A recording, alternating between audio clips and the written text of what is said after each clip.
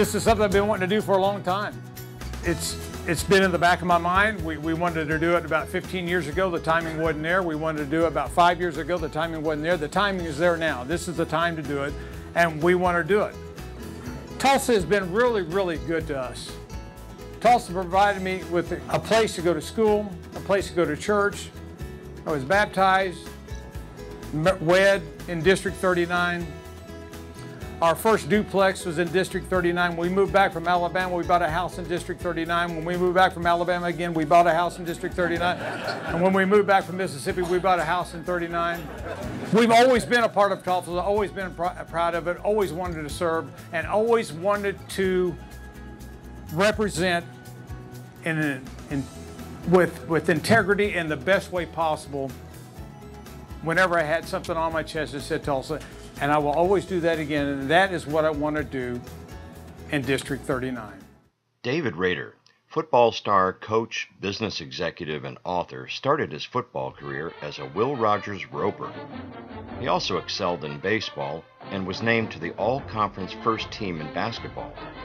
As a senior, he was named Boy of the Year.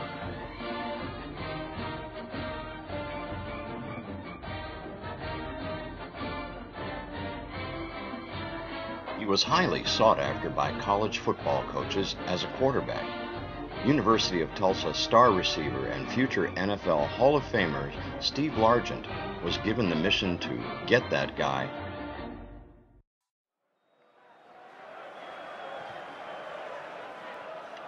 That began his long association with Tulsa University.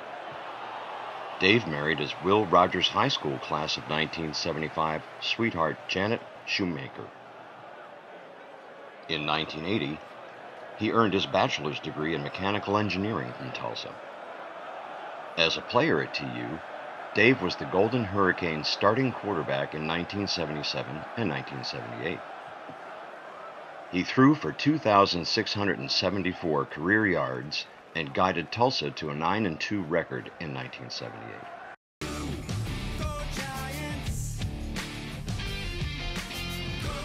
He later joined the New York Giants as a quarterback. His head coach was Ray Perkins. After a brief stint in the NFL, he worked as an engineer in New York City and then in Tulsa.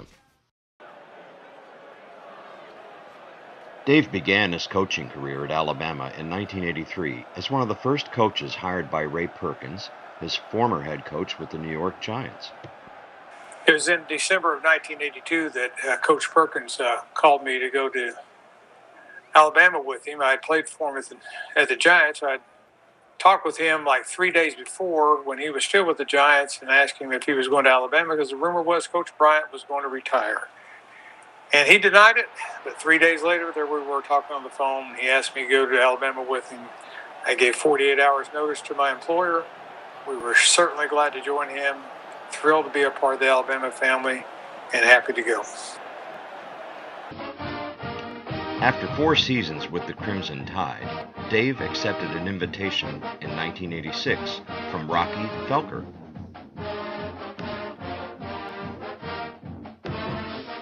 At that time, Felker was the new head coach. Dave became the youngest offensive coordinator in the Southeast Conference at age 29.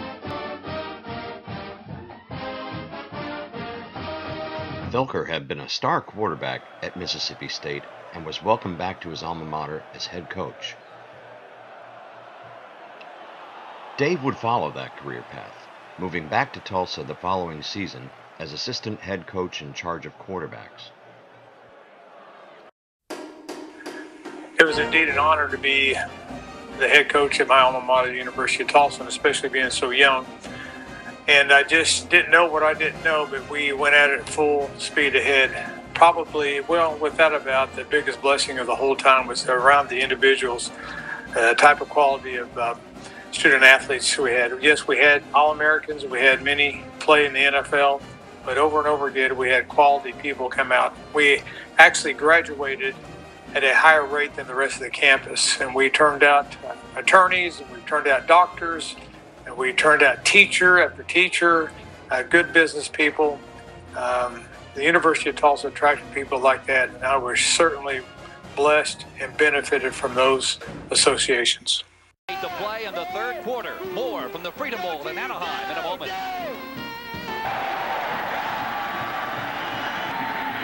Rubley looking downfield. Pass intended for his tight end Phil Natowski. And he is bumped. Pass interference. First down. Golden Hurricane. Goal. Jackson again. Touchdown Tulsa. Is the Raycom Television Network. Stride for stride. 5'11", 200 pounds, and he is covering a wide receiver downfield 35 yards, and he's running stride for stride with him. But this time he'll let it sail, and oh, does he get it. TC Wright backs up, loses the handle, falls on it at the 8, loses the football, and Tulsa's got it. Tulsa has got it at the two-yard line. Second down and goal, the ball still at the four-yard line. Jackson with 40 carries, 184 yards. Make it 41 carries and four touchdowns. Tulsa finished that season ranked 21st nationally in the Associated Press and USA Today CNN polls. Dave was honored as NCAA District Coach of the Year, and his team was inducted into the University of Tulsa Athletic Hall of Fame. After 13 seasons at his alma mater, 12 of them as head coach, Dave returned to the private sector in 1999. But he found he couldn't stay away from the game. It was in the May of uh, 2003. I received a call on a Sunday afternoon from Mike Shula to go with him uh, to coach at Alabama. Mike had been one of our quarterbacks from my first stint at Alabama, I looked forward so much to going back, coaching for him. A little bit of a change of uh, roles there, but it worked out very well. Alabama program was really strained at that time, being on NCAA probation, and we did a really, really good job of putting it back together. It was great to work with him there, and that's how that all came together. After three years in private business, Dave returned once again to coaching in 2010. He joined Houston Nutt's staff at the University of Mississippi as offensive coordinator and quarterbacks coach. After one season at Ole Miss, he left coaching for good and again came back to Tulsa.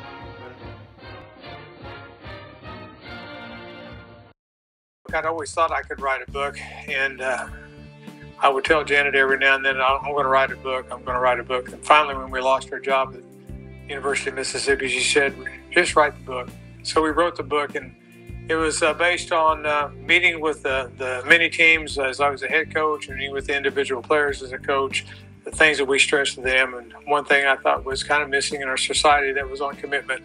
I know football teaches that. All sorts of co-curricular activities teach that, but nothing like football. So we wrote a book on commitment. Steve Largent was good to me, and he wrote the foreword to it, as did uh, Jim Stovall, and that's how that book came together in um, the fall of 2011. Dave is a member of the Tulsa Public Schools Athletic Hall of Fame. He and Gil Cloud, the TPS athletic director, often visit the construction site for the new Will Rogers Stadium.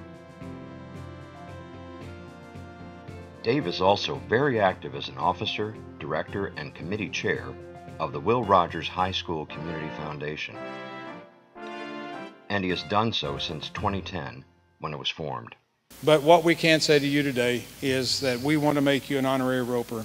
And Oh, thank you for all you've done for our high school. Thank you, sir. Okay. Thank you. Thank you, That Dave. says I honorary appreciate it. roper on okay? I got it. Okay. I got it.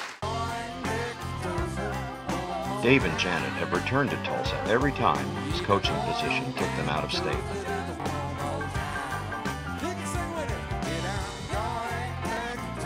Their son Daniel served as an officer in the U.S. Navy and has a mechanical engineering degree from Oklahoma State. He and his wife Deidre have three sons. Son Jordan has a PhD in nuclear engineering from Georgia Tech. Jordan and his wife Emily have two sons and a daughter. Daughter Kendall has a degree from Texas Christian in speech pathology and earned a master's from TU. She and her husband Michael have a son and a daughter. Dave has served on the boards of John 316 Mission, Tulsa Public Schools Athletics Hall of Fame, and the Will Rogers High School Community Foundation. In 2008, he was awarded the Merv Johnson Integrity and Coaching Award by the Oklahoma chapter of the National Football Foundation and College Hall of Fame.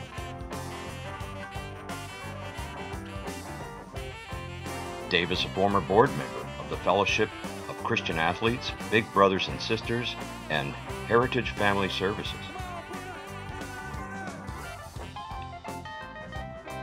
He has also served on the American Football Coaches Association's Football Issues and Ethics Committees.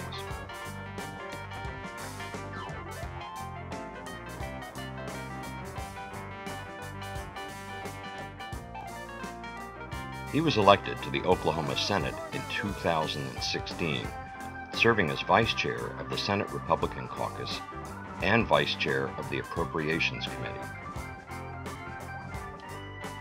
and as a member of the Appropriations Subcommittee on Health and Human Services. Senator Rader was awarded the 2018 Legislator of the Year Award by the Oklahoma Academy of Family Physicians. And being inducted to the Tulsa Public Schools Athletics Hall of Fame, uh, I was very, very honored. You see, for me, going to Will Rogers High School was something I always wanted to do. Always wanted to do.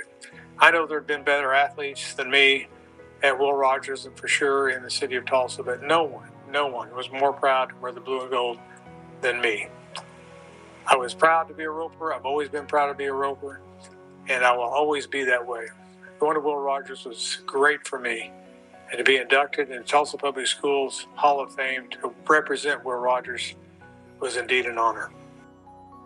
Dave may be best recognized for his 12 seasons as head coach of the Tulsa Golden Hurricane.